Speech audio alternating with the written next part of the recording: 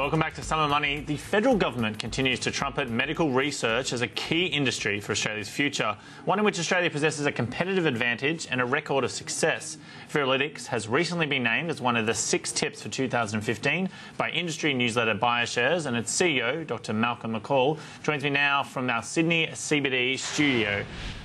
Mr. Dr. McColl, thank you so much for joining me. Now, it was about a year ago that my colleague uh, Kate Williams spoke to you, and at that point, you were raising about $27 million in capital. I understand that, that that capital raising is now finished. Can you tell us how successful it was? Oh, look, it was a tremendous uh, transformational event for the company, obviously, because uh, you know it really took us into into a situation where we had enough cash to run a you know a series of uh, further clinical trials uh, to further develop our CAVATAK an oncolytic virus for the treatment of uh, you know late stage and difficult to treat cancers. So I guess it just elevated us up to to the point where we can really run important clinical trials going forward to um, hopefully uh, you know add considerable value for uh, our shareholders. Yeah, let's focus in on CAVATAK. I, I know that you were planning on having some pretty um, important clinical studies in the last 12 months. Did any of them proceed, mm. and did you get any sort of lead results on how how how the drug is actually performing? Look, it's really been a phenomenal uh, 12 months, and I think you know there wouldn't be another biotech in the country that's kind of had the exposure we've had in terms of pre presenting at major conferences in, in North America and Europe, and and really uh, you know with exceptional results uh, in in the phase two study in the melanoma patients where we met the primary endpoint. So. Uh, you know, it's been an exceptional year with the results. I guess it's, it's put us on the world stage. It's, it's, we now have the attention of you know major pharma partners. Uh, you know, we continue to have support of the institutional investors who invested in us 12 months ago, and you know there are other institutional investors who are also keen to. Um, to take a part of the company. So it, it's uh, it's been an excellent excellent 12 months with lots of great results coming through. So where are you at now? Is it still about raising more capital for further studies, or, or are you getting to the more the marketing side of things? Or where where exactly are you in the process of getting this drug to market? So, you know, we're, we're very well funded now. We have enough uh, funds to take us through to the end of calendar 2016, so a capital raise is not on the agenda at this point.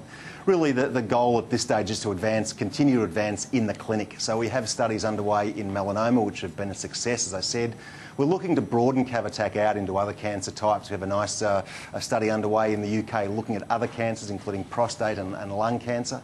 We plan to start another study in the UK in superficial bladder cancer and a combination study with a, a blockbuster drug in the immuno-oncology field. So the goal is uh, generate data across a range of indications, bring that to uh, the attention of big pharma partners and obviously look towards uh, some sort of uh, you know, transformational uh, transaction uh, with a pharma company to reward our shareholders and, and, institutional investors. So, Dr. McColl, did you always think that this drug had uh, wider implications than just for melanoma, or is it because of the studies that you're actually seeing that it might actually be able to be used on a, on a wider range of, of cancers?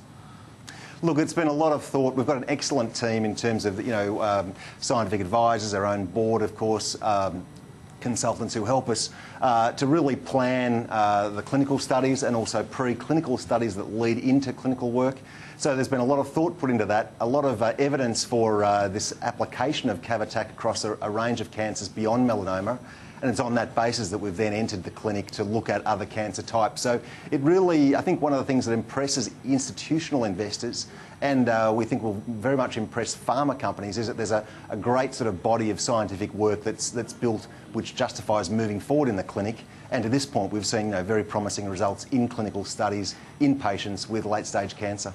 When you're looking at the marketability of a, of a cancer drug, does it, does it matter what type of cancer it treats? I'm thinking the comparison between, say, melanoma and prostate cancer. Mm. Melanoma obviously has a, a, wider, I guess, age group that it affects, including very young people, mm. versus prostate mm. cancer, which tends to uh, affect the elderly. Does that matter as mm. far as you know the worth of that drug, as far as you know the length of life that it kind of gives to people? Is that is that how you target whether or not you're going to be using it for different types of cancer? Well, look, you know, it is a factor, obviously, in terms of your decisions that you make, in terms of which clinical trials you'll, you'll commence.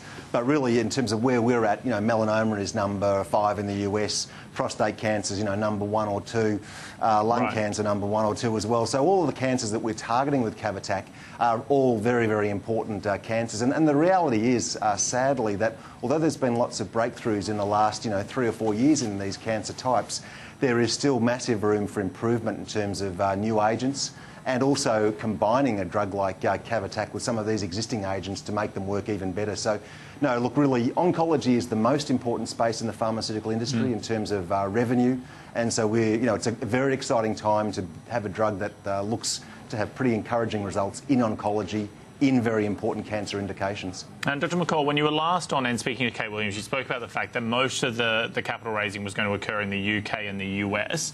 Obviously, in the last year, we've had this big focus from the federal government about potentially a medical research fund to be funded by uh, the Medicare co-payment. Do you, how important do you think that is for Australian companies like your own in getting the funding from onshore areas, or can that be just raised through traditional means? Well, look, I think any sort of non-dilutive funding that you might have as a result of federal government support is obviously, you know, very welcome. And, and of course, there is a scheme existing today where we, um, you know, are fortunate to receive some funding from the federal government. But I think when you need to undertake the sort of uh, transformational capital raise that we uh, did uh, 12 months ago, the reality is that the pool of funds that you need to, uh, you know, enable that are going to have to come out of the US and the UK. And, and you know, there's a lot of money over there for biotech investment. Of course, it's a very rigorous process to, um, you know, sort through uh, biotech companies and find the best ones. And, and we're really delighted that, that some of the best uh, specialist healthcare institutional funds uh, decided to invest in Viralytics, and I know uh, that they're, they're very pleased with the way we're progressing in, in the clinic. Dr. McColl, thank you so much for your time. Oh, my pleasure. Thanks very much, Carrington. Good night. And that was Dr.